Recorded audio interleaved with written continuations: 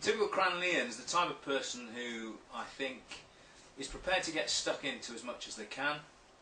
Uh, they like to be involved. They may be uh, very good at sport. They may be very good at music. They may be very good at drama or very into those things.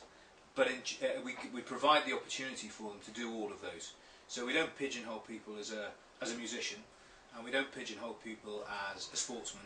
We say that you've got the opportunity to do all of those.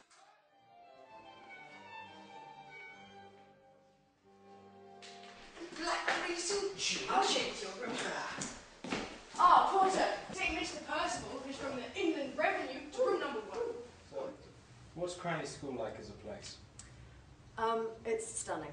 I think it is stunning. It's not, it's not austere, but it's quite grand.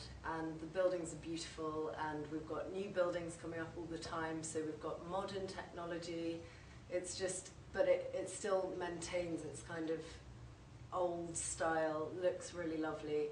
And everyone who comes here just thinks it's beautiful. The grounds are amazing. We've got massive grounds and they're all here, so that is really lovely. The sixth form organise concerts, they organise charity events, um, they help organise house plays and direct house plays a lot of the time. So yeah, they do a lot of stuff beyond, beyond you know, their everyday lessons.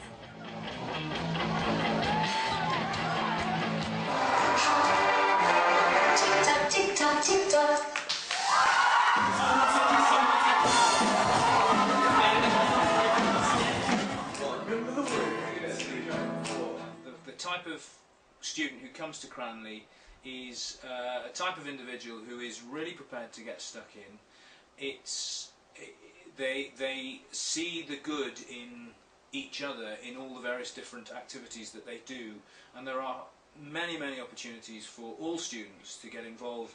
Not both not on a school just on a school level, but on a on a house level as well. And so pupils in each of the houses see each other and the good in each other, whether it's in debating or in sport or in music.